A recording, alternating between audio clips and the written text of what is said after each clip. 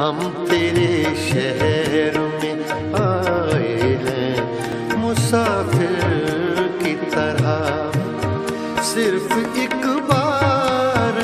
मुलाकात का मौका